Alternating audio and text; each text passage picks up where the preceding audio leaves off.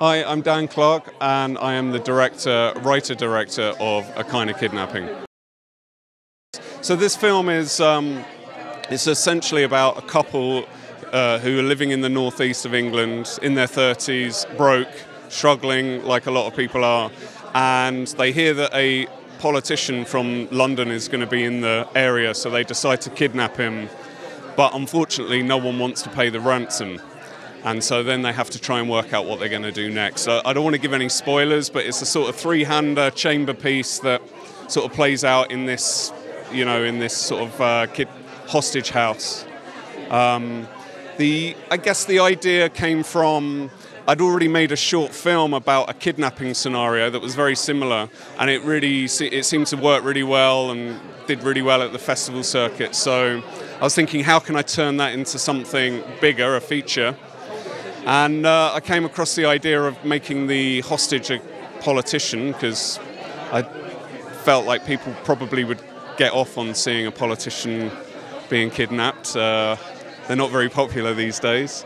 And um, and yeah, that's and it was a way of me telling someone like it's not an overtly political film. Obviously, there is stuff in there, but um, it was but it was a way of giving it a little bit more depth and some, you know, kind of themes and messaging about not just politics, but like power and how people are also desperate to be recognized and be noticed, whether it's through social media or television or um, not just politicians, but, but everybody. Patrick, who plays Richard Hardy, the MP, and uh, Kelly, who plays Maggie, were in the short film version and it didn't. It just felt right to continue that. And um, Jack, we auditioned, and he just had that right quality. You know, he's very good at playing the underdog, but we needed someone that switches in the film because the character goes through quite a journey where he, he sort of becomes quite dark towards the end and he just had that you know some actors aren't able to go from two extremes like that he did it so well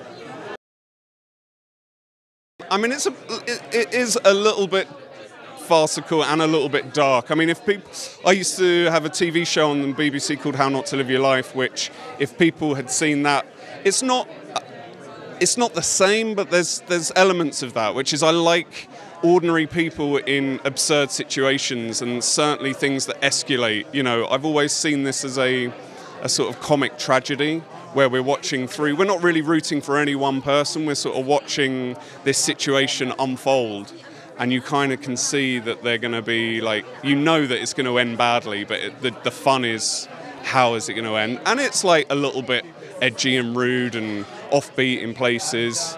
Um, and I think the messaging in it is hopefully not too hammered over the head with like, you know, my opinions or anything. I'm curious um, how you feel about the pressures facing the creative industry at the moment, and if you think it is necessary to have some kind of a, a grassroots reassessment about how the industry is structured and how people are compensated for their work.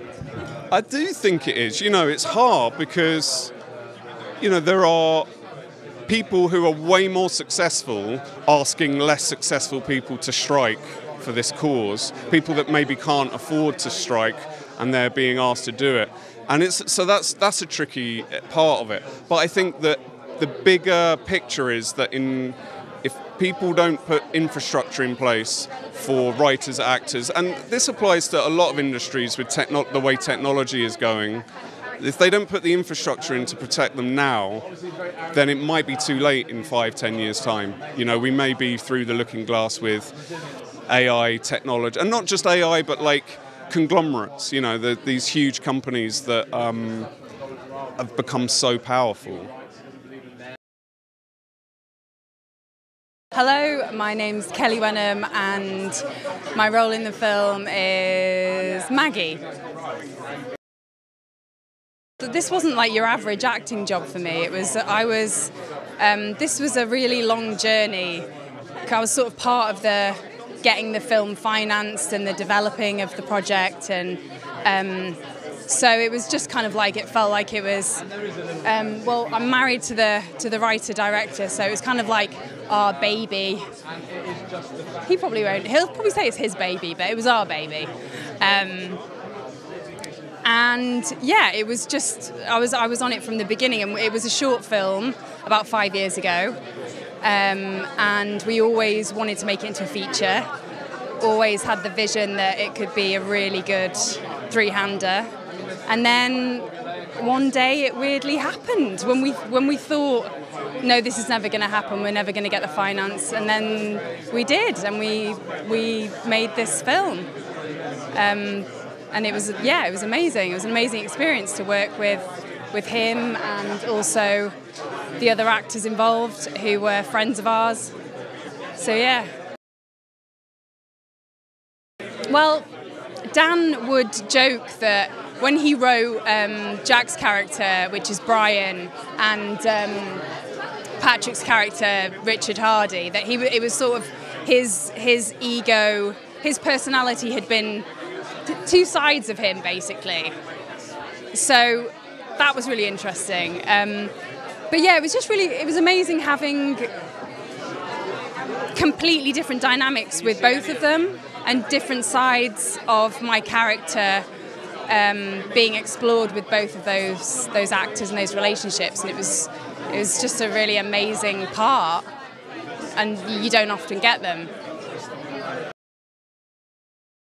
Do you think, given the astonishing lack of trust and confidence we currently have in our political elite, there's something particularly appropriate about this story being told at this time?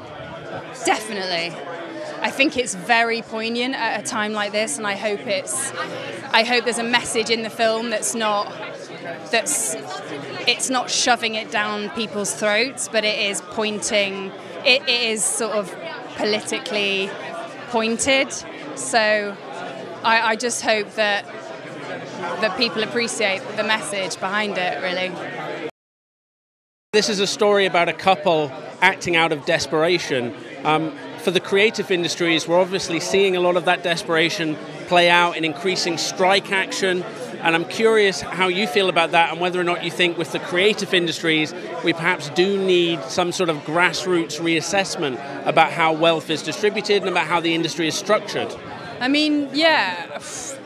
I mean, I'm so glad. I'm, I'm so glad what's happening in America is is ha- obviously happening, but it's also very scary that we don't have a union here for writers. Obviously, we've got equity as, as an actor, but I don't. I don't. I'm, it's a shame that we don't have as much sort of um, camaraderie in those in those fields that we could kind of fight back and, and, strike because especially as a writer you're just not protected in this country at all there's no union there's nothing so I'm like fully behind the writers strike in America and hope it ends soon yeah I mean, do you think that the concerns about AI, particularly when it comes to replacing screenwriters, do you think that's a valid concern? That's something that realistically might be a threat to the industry? God, um, I mean, it'd be pretty sad if it was. If if if that was the case, I'm not sure I'd want to go and see a film that was written by a non-human. I'm not sure that would be appealing to me. I mean, I hope I hope that doesn't happen. Yeah. You have a message for people about why they should make sure they check out a kind of kidnapping any chance they get. It's a really fun ride. If you like dark comedy um, with amazing actors, um, you should check it out. There's some really good actors in it, really, really strong, strong performances that you should definitely check out. Hello, I'm Jack Parry Jones, uh, and I play Brian in A Kind of Kidnapping. So, Brian and Maggie are down on their luck. Uh, she is a, a, failed actress, and I am a taxi driver and also taking a computer course to do what I can't actually remember, but I'm taking a computer course, and because they're so down on their luck, they um, they decide to kidnap a Tory politician. I think he's a Tory. I don't think he's ever mentioned that he's a Tory, but I'm saying he's a Tory. um, and um, and yeah, we we hold him for ransom, and then all sorts of stuff goes wrong, as it's bound to. And what was it about that setup, that idea, that excited you as a storyteller the most? Um, so I got sent through the script and I did my tape for it, but I, I just thought that, to, to be honest, it, it was Dan's writing. It was so sort of fluid and really really easy uh, to to get on board with. I, I think that that was that was the thing that really excited me was just that opportunity to to speak those words and and also to act with people like Kelly and Patrick was an absolute dream. So you know that was that was probably it. Uh, can you tell us a little bit more about what that experience was like working with Kelly and Patrick? Um, it was manic because uh, you know Patrick is um, Patrick's an absolute lad, uh, but no, they were fantastic. Um, really, just just on top of everything, and I feel that actually watching them there's always this thing that you're watching other actors and you want to learn off them and I, I do feel that I actually I was learning bits off off of them just you know Patrick is so consistent and Kelly's just got such such great energy from take to take that it's really it's really brilliant. We're living at a time where people's confidence and trust in politicians has never been at a lower ebb. Do you think that this is a particularly apropos moment for a story like this? Yeah, for sure. For sure. I mean, we're living in a cost of living crisis, and our politicians don't really seem to care. Um, I say seem, but like you know, if you can show me any evidence that they do, I'd be happy to look at it. But it feels like you know rent is going up, and you know uh, uh land, landlords don't again don't care. They are putting it up to, to be in line with inflation, um, not because anything has changed about their property. And I think that it's such a tough time for people. And I think that that's why this story will really resonate with people, is just because it's it is such a tough time, and these characters are kind of doing the thing that I think we all cheekily would like to do, but um, but I don't think that it's the best idea. Um, just to just to put it out there, it's not the best idea to kidnap politicians. Definitely not. Talking about difficult times, obviously for the creative industries, um, it's a particularly sensitive time, and obviously today uh, we have the news of the likely SAG strike uh, joining the Writers Union America. I'm curious how you feel about that and the, the, the pressures that um, both in this country and overseas we are seeing on our creative industry. Um, it is tough, and I, I, I hear off of. Uh, I was chatting to um, someone who did the makeup on, on, on this, Vanessa, and um, and she was saying that like you know it, it is such a tough tough time because people are. It's just a tough time. I don't I don't really know how, how to put it in, into any other words. It's just a tough time. And in terms of other great stuff you've got coming up and that we're enjoying at the moment, I think uh, Hijack, uh, I think we're, we're, very much enjoying that at the moment. Um, can you just tell us very quickly a little bit about what it was like to work with uh, the icon that is Mr. Idris Elba and what can you expect from the rest of that series as we, as we get to enjoy those final episodes? Do you know what? It was you sign you sign on to it because you go like, oh my god, it's filming on a plane. That sounds awesome. And then you spend six months on a plane, um, and you're just in this too. But it was like it was really cool to work with that cast. It was really awesome to see everyone's work, and and, and now to actually get to see other parts of the plane as well.